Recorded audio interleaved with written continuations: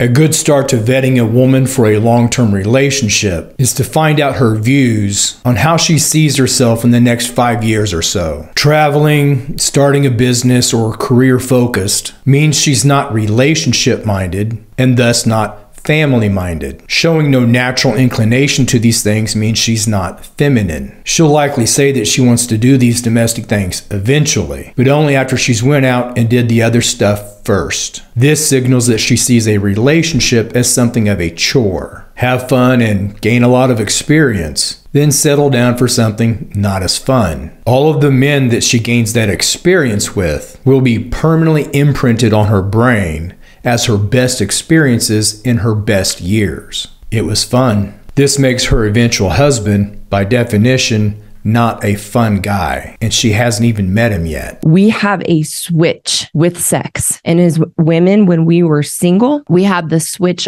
on for bad boys and we had the switch off for good men. Now, this will be highly age dependent, of course. 25 or 26 and younger, it's pretty straightforward. In her 30s or 40s, has she done the shift from fun to time to settle down to do the chores? If so, you're the guy that represents chores and obligation now that she's had her fun.